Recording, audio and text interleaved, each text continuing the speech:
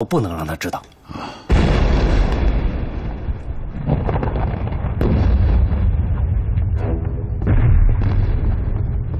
宗主，你听见了吗？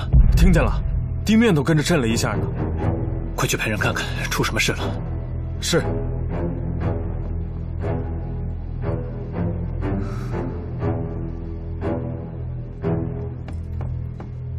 殿下，听见了。按殿下的吩咐，一切皆按我们的计划进行，没有分毫错乱。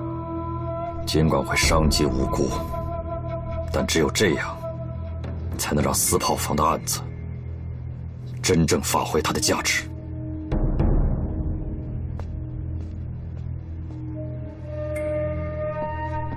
四炮房炸了。是，据说是由于最近无雪天干，火星崩落引起的。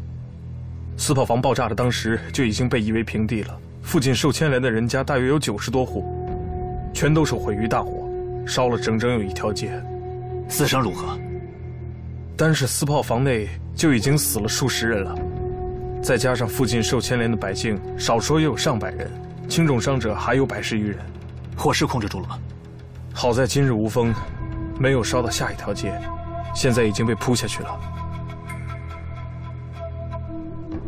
还是烧了整整一条街啊！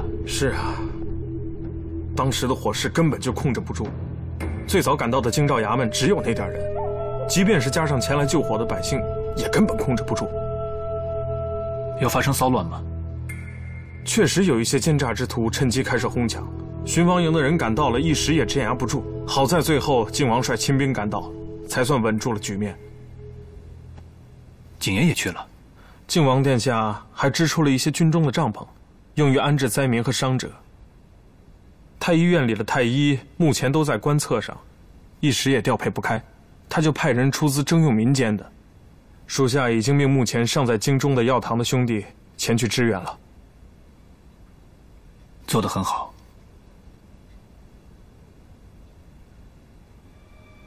照理说，正月快要过去了。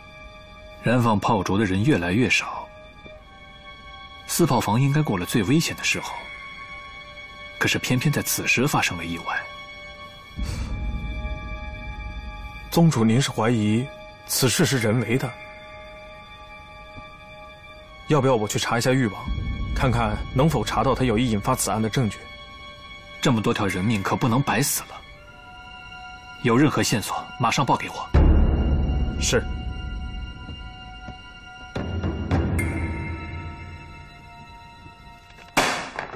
你说什么？什么叫四炮房爆炸了？我不是已经叫你们停了吗？是啊，自从殿下传讯，说沈追已经查到了四炮房，属下是分毫不敢耽搁啊，立刻派人去收检转移，只希望尽量在查封之前能够多了结一些。昨儿忙了一夜都没事儿，没想到今日，到底是怎么炸的？属下也不知道，也许是搬运的急了。也许是有火星，毕竟那是个黑火药库，这只要见到一点明火，便会立刻炸开啊！马上去找谢玉，把巡防营调过去，围住现场，一个人都不能进去。呃，巡防营已经去了，可是京兆尹府的人却是先到，现在连靖王府的人也到了，就算强行把他们赶开，殿下，这事儿这事儿也瞒不住了呀！瞒不住了，瞒不住了。来人，备车！殿下，殿下！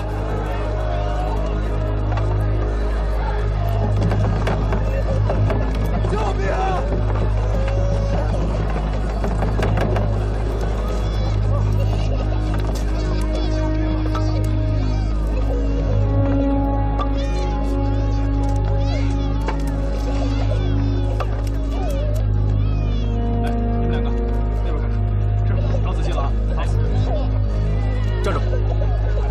闲杂人等不得入内。你是做什么的？我找他。列下去。哦，进去吧。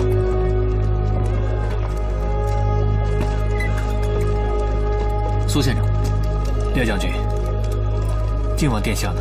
在里面，还在勘察爆炸的四炮房。参见郡主。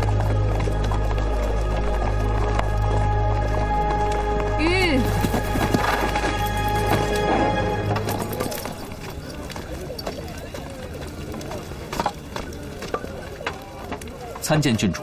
郡主，苏先生，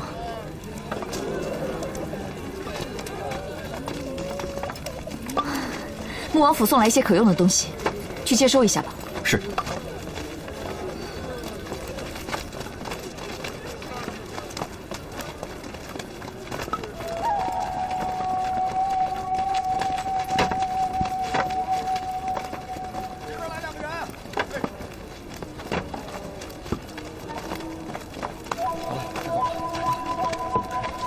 殿下，郡主，靖王殿下。苏先生这么快就到了，这京中大事，果然都逃不过苏先生的法眼。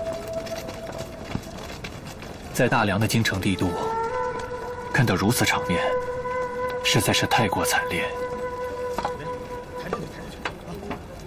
都是些勤勤恳恳的小百姓，谁又会想到，在自己家的隔壁？会有个黑火库，真是时也命也。能多过一天就好了。多过一天，多过一天又能怎么样？户部沈大人昨日告诉我，他已经剧本上报，请求陛下恩准京兆尹府协助查封这座私炮房。他当时很自信的跟我说，一两天内朱批很快就会下来。没想到，折子才递上去一天。就发生了如此惨烈的意外。殿下真以为这是个意外吗？苏先生是在暗示什么吗？这原本是一件贪渎之案，可是这一炸，这件事情就不仅限于朝堂之上了。毕竟关系到几百条人命，民愤民怨汇成鼎沸之态，如此一来。东宫受的惩罚也会更重。殿下细想，这件事情闹大了，谁会是最终的受益者？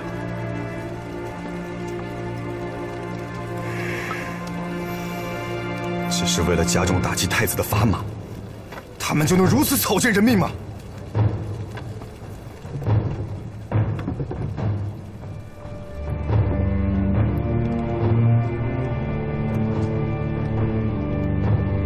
这是苏先生为誉王出的奇谋吗？嗯，萧景言，你这话什么意思啊？苏先生对形势推测的如此细微，我还以为你以为什么？无论何种缘故，这样恶毒的罪名怎能想扣就扣？苏先生入京以来，有何种地方惹到了你？你要这样羞辱于他？郡主，怎么？难道靖王殿下离了沙场，连说错话给人道歉的道理都不懂了吗？郡主，殿下并非是故意的。无论是谁这么说，都有恶意，更何况是他。郡主，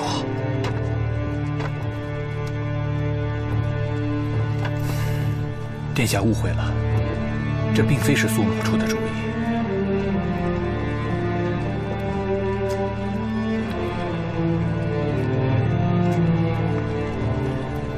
是我刚才失言，请先生不要放在心上。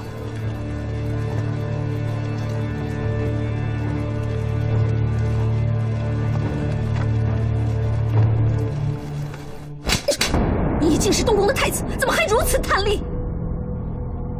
不能怪我贪，要不是老五处处紧逼，为了对付他，我这花钱的地方实在是太多了。